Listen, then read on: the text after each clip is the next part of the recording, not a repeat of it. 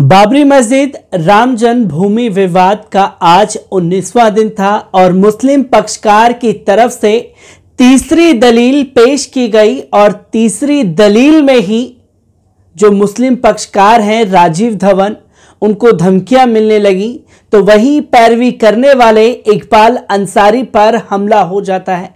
Supreme court में इकबाल अंसारी के हमले को लेकर के ज़िक्र छिड़ता है। और उसी पर बात करने के लिए आज 19वें दिन क्या कुछ घटा है? पहले बात करेंगे। बात करने के लिए हमारे साथ मौजूद हैं एडवोकेट फराह हाशमी, जिनसे जानेंगे कि जो इकबाल अंसारी पर आज मैम हमला हुआ, कोर्ट में किस तरीके से अपनी बात को रखा गया है।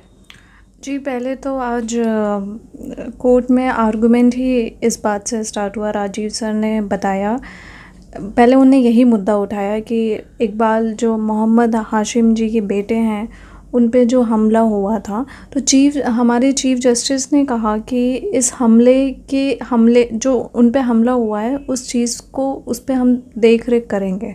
लेकिन उन पर ज़्यादा फर्दर आर्गूमेंट्स तो नहीं हुए मैम, उन्नीसवां दिन था आज और तीसरे दिल पे, तीसरे दलील पे ही मुस्लिम पक्षकारों की हमला हो जाता है, धमकी मिलने लगती है। तो आज क्या कोर्ट का माहौल गर्म था? किस तरीके से अपनी बात को मुस्लिम पक्षकारों ने रखा है? कैसा माहौल था कोर्ट का? क्योंकि अक्सर लोग जानना चाह रहे हैं कि हमें खबरें तो मिल रही हैं, पर कोर्ट के अंदर का माहौल कैसा है, वो आपसे बेहतर कोई नहीं बता पाएगा। तो कैसा माहौल चल रहा है कोर्ट को लेकर के?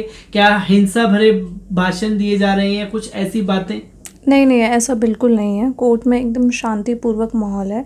प्रोसीडिंग बहुत ही आराम से सुनी जाती है। सवाल हमारे जजेस पूछते हैं, राजीव धवन जी जवाब देते हैं। और जो अदर साइड है, जो हिंदू पक्ष के जो वकील हैं, अगर वो कुछ बीच में बोल भी देते हैं तो हमारे चीफ जस्टिस उनको डांट के बिठा देते हैं। मैम, आज का कोर्ट में किस तरीके से अपनी बात को रखा है? क्योंकि जो दलीलें बाहर आई हैं, क्या क्या क्या बातें आज के दिन उन्नीसवें दिन पर रखी गई? जी, आज उन्नीसवें दिन पे जैसे कि मैंने आपको कल बताया था कि निर्मोही अखाड़े की बात कल कल रखी गई थी। आज भी उस पर ही आर्गूमेंट कंटिन्यू था कि निर्मोही अखाड़े पे जो राम मंदिर, जो राम चबूतरा है, वो पहले आँगन के बाहर था। अब उनने 1914 के बाद उसको गोल गोल गुंबद के अंदर नीचे रख दिया गया। उसके मैनेजमेंट को और पोजीशन को लेकर बातें हुई। हैं मैम, जो देखा गया है कि लगातार ये कहा गया है और राजीव धवन जी ने भी आज दलील रखी है अपनी कि जो गुंबद बाबरी मस्जिद का तोड़ा गया था, ये कहते हुए कि यहाँ मंदिर है। तो जो बातें रखी हैं, क्या जजेस पूरी तरीके से उन बातों को कंसीडर कर रहे हैं?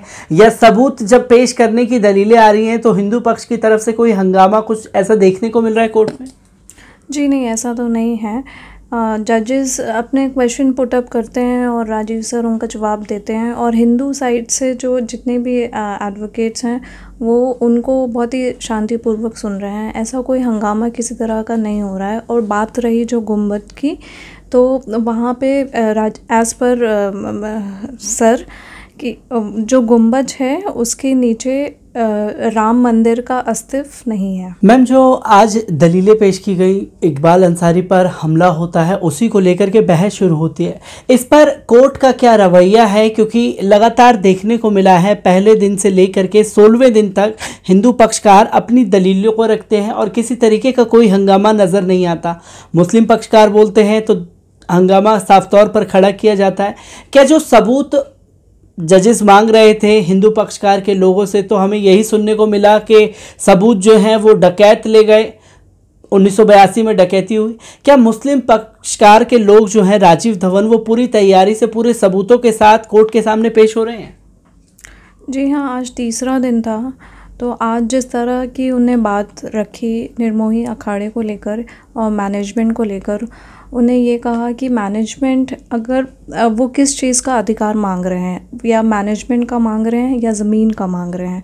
अगर वो ज़मीन का मांग रहे हैं तो अगर वो मैनेजमेंट का मांग रहे हैं तो उन्हें ज़मीन का भी अधिकार मिलना चाहिए। इस तरह के सवाल जवाब हुए और जो चबूतरे की बात थी, उसमें सर ने ये कहा कि चबूतरे पहले उन 1949 के पहले वो बाहर था और 1949 के बाद उसको अंदर शिफ्ट कर दिया गया।